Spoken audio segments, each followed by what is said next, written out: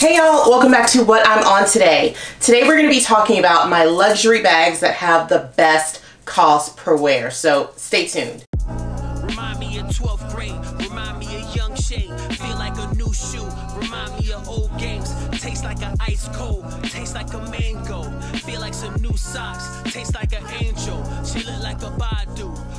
Hey y'all, welcome back to what I'm on today. My name is Lykia Chanel and I make videos about all things handbags, both luxury and contemporary, because you guys already know that I do not discriminate. So today I wanted to do a hopefully quick and cool video about the luxury bags that I have in my collection that have the best cost per wear. If you guys were able to see my handbag collection videos a couple of weeks back, you guys probably know that collectively I have like over a hundred bags. And one of the things that I have started in 2023 is really taking inventory of those bags and um, kind of creating a little spreadsheet on which bags I'm wearing, how often I'm wearing them in the month, with the idea that at the end of the year, I'm going to just kind of reconsolidate like what I think are the important bags in my collection, especially since I have so many. And I feel like I want to downsize, but I also feel like I don't want to have remorse by giving anything away or selling anything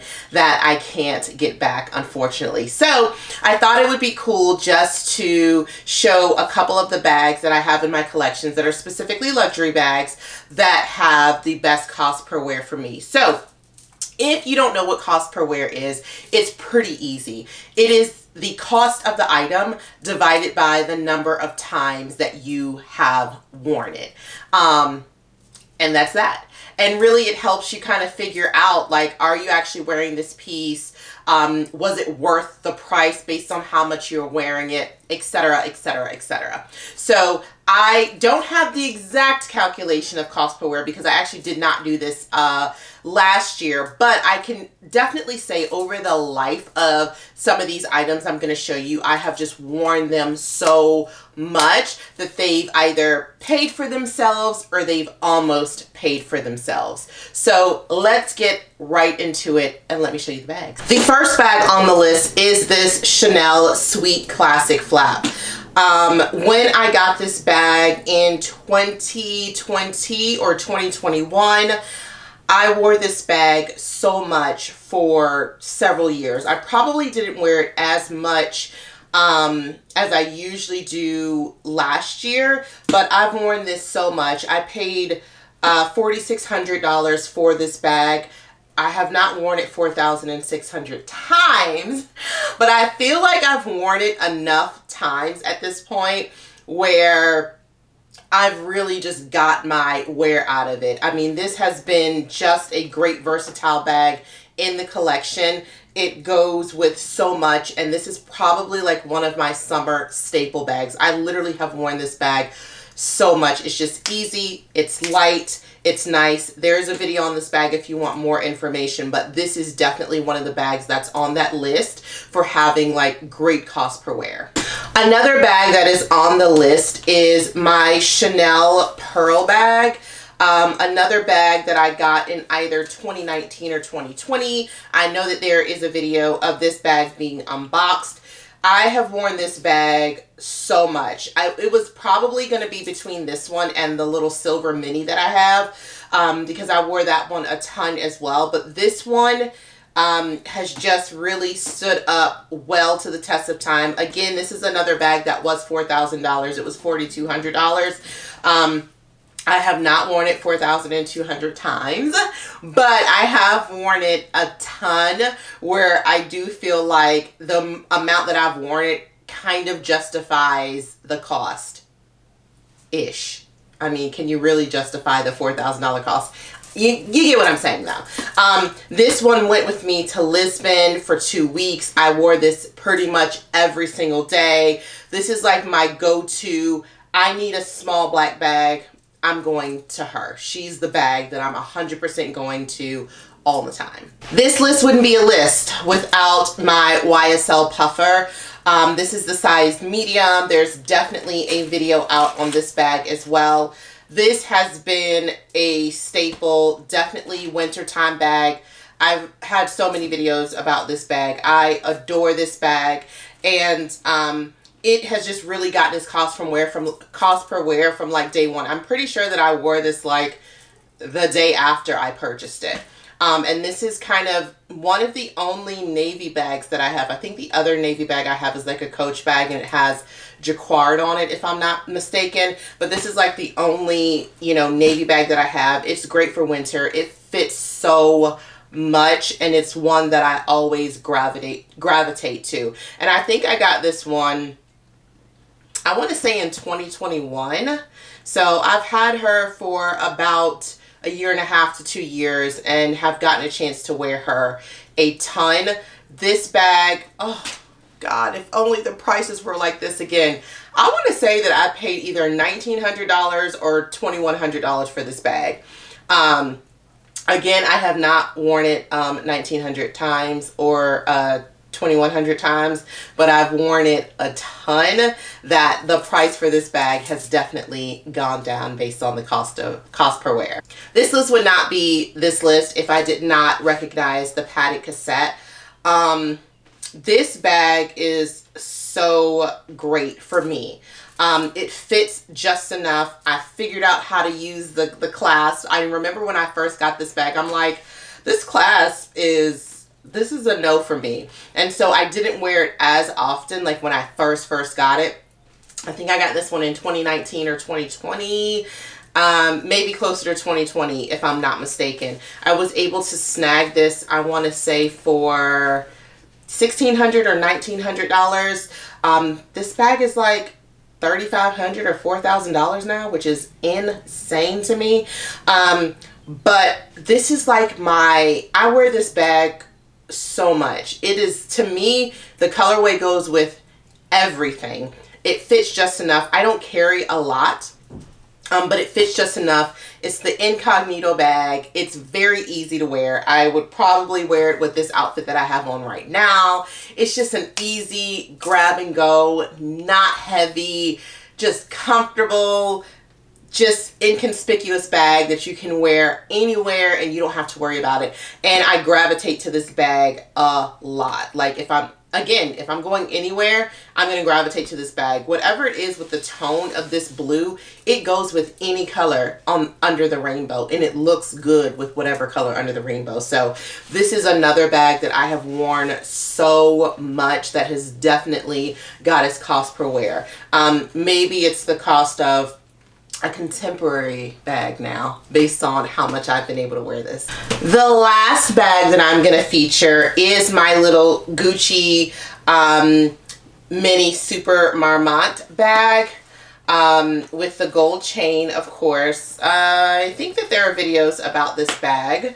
Um, this was one of my first luxury bags, and this was absolutely the first luxury bag that I ever purchased um, from a brand and not from a um, a reseller like a Fashionphile or something. I actually got this um, on the Gucci site online. So this was my very first, you know, luxury experience. And when I first got this bag, I literally wore this every single day. Like this was my everyday bag. This bag was $860, $90, something to that effect um, when I got it. The price hasn't gone up too, too much. I think it's like a thousand and some change now. Um, I would say that this has at least gotten maybe not 890 wears, but maybe it's gotten two, three, four hundred wears. I mean, I literally wore this bag every single day for like a year or a period of time that was maybe more than a year. So this definitely got its cost per wear. Um, and even though it's small, like it fits your phone, again, I don't carry a ton. So, I mean, if you don't have pouches, which I usually carry everything in pouches, you can have your lipstick in here, your lip gloss, your keys, your hand sanitizer, your wallet, um, your phone, all your things fit in here. And I always like, this is, I only have two red bags in my collection. I have this bag and then I have the YSL Niki. Um, and this one is always just the vibe. Like the YSL Niki is obviously very large in comparison. It's size medium, where this is just easy throw on. You need a pop of color, but you're not trying to do too much. It's this bag. Um, so we've had some really great times together. We I haven't worn her as much. I think I wore her like recently a couple months ago, but I haven't worn her as much. Um, but you know she's she's continuously in some type of rotation. But at one time in her life she was in the daily daily rotation. The last bag i said that that one was the last bag but i'm to give an honorable mention to another bag. I just got this bag last summer so i cannot say that it is totally gotten its cost per wear but as it relates to other bags in its genre in my closet, I have to give this a little heads up. And I feel like you already know this. This is the YSL um, Ikari tote or iCare tote. I got this bag last August. And I mean, so I guess it has not been a year yet, right? I use this bag so much. And I, you guys have seen this bag in so many freaking videos of mine. Um, I just use this so much. This is the tote that I go to nine out of 10 times when I need a tote bag. I go to, into the office once a week. This is oftentimes the bag that I'm going to bring for that. Um, if I'm just going to be out and about chilling, but I want to carry like a big bag, this is going to be the bag that I'm going to bring for that. Um, this bag I paid $3,050 for. I know now it's pretty much $5,000, $4,900 um, now for this bag. But what I will say is like, you know, this, I mean, it's a luxury bag. $3,000 is a lot of freaking money. Um, based on how I've worn it um, and how much I've had the opportunity to wear it, um, it's something that works really, really, really well for my collection. I don't know why I'm hugging it like this. Um, but it, it, works really well for my collection, works really well for my wardrobe. So I don't regret the purchase of this. It has not gotten all of its cost per wear yet, but I would say give me a couple of, give me a couple of years. This will be at zero dollars. Sure, seriously. Like this is just the perfect they did a, such a good job. This is the perfect tote. Sometimes you need a tote that's just a big sack of shenanigans. And this is what this is. And I love it so much. And those are my top bags that just get the most cost per wear in my wardrobe today. And I'm always interested to see like you know, what that looks like in your collection. I feel like when you are a collector of bags, and maybe I won't speak about everybody, but I'll speak about myself. I'm very impulsive. I like a thing, I want a thing, I get a thing. I'm gonna get that thing in like five other colors, and then it might sit on my shelf for a while or I might wear it once in a blue moon. And so I am really trying to, that is going to be my goal for 2023 is to do an assessment and then my 2024, just figure out what bags I want to keep in my collection, which one are really serving me, which ones I'm really drawn to and wearing, and just not being so obsessed with having like so many pretty things and just having them because they're pretty. So wish me luck um, in this journey, but I think it's going to be fun, right?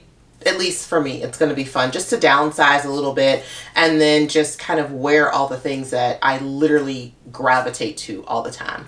So that is it. Thank you so much for uh, joining me again for another What I'm On Today weekend. Um, if you are new to this channel, do not forget to like, subscribe, and hit that notification bell. Um, we are at 1,800 subscribers now, and you know what happens when we get to that 2,000 mark. We're doing another giveaway, and um, I don't know what brands I'm obsessing about right now, but I feel like this might be something a little cool that we'll do for a giveaway. I haven't thought about it yet, but I don't know. My brain's my brain's working. So, um, you know, send whoever you like to my channel the more the merrier. Um, those of you who've been riding with me from the beginning, thank you so much. Appreciate you spending again another weekend with what I'm on today. And I look forward to seeing you guys on Wednesday or Saturday. Bye.